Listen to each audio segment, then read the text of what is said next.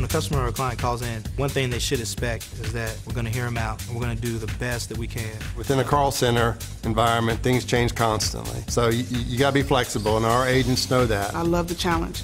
It's never boring. I've been here for five years, and I still enjoy getting up and coming to work every morning. With this company, Time Warner Cable, you can do and go as far as you want to.